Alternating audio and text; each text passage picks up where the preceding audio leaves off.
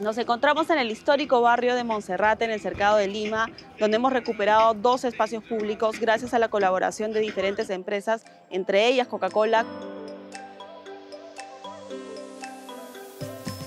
En el caso de Coca-Cola recibimos 200 parihuelas que nos han permitido trabajar diferentes tipos de piezas. Nosotros utilizamos esa madera para crear, por ejemplo, camas de huertos, macetas grandes, también juegos de niños, mobiliario urbano.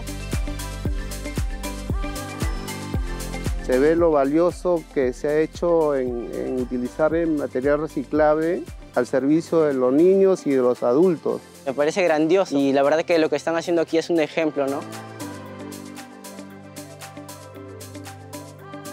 Cada vez la ola ambiental está creciendo y poco a poco más ciudadanos de Lima se convierten en, en ciudadanos con el corazón y la mente abierta.